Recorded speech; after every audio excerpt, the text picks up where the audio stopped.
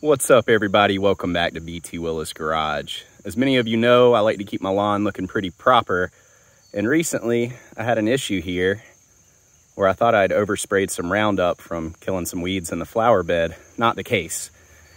So go ahead and fill up if you have this problem. Fill up an old trash can or a pitcher that you have laying around with soapy water. Don't mind my internet satellite dish there. I just moved it there because it's dead.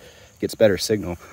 So fill that up like I'm showing you and dump it all around to where it penetrates the soil in a big area. I'm gonna do something like that. Should be good. And I'm gonna pick you up in just a second. We're gonna check if we have uh, green army worms or army worms in general. Uh, the soapy mix, I already see them coming out. Doesn't take long. Um, the soapy mixture does burn their skin and makes them want to come out of the ground and go to the top. Here's a close-up of one. See them right here.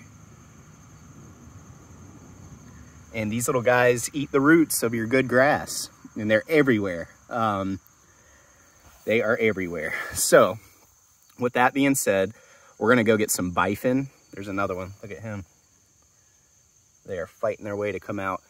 Uh, we're gonna go get some Bifen, B-I-F-E-N. There'll be a link in the description that you can use to broadcast spray on top of your lawn and take care of these little buggers that will literally eat your grass in a day or two.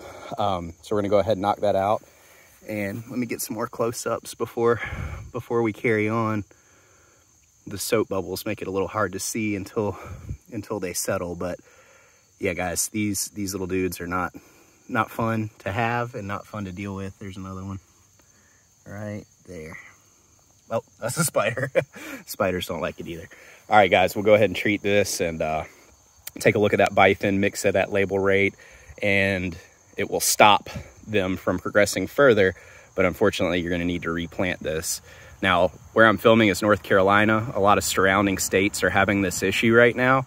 Um, so I'm going to broadcast spray the entire lawn, even though uh, it's quite a monster to deal with, but I'm about to reseed this fall and I definitely don't want them eating my brand new seed that I spent, you know, hundreds of dollars on. So you guys be good. We'll see you soon. Thanks for watching.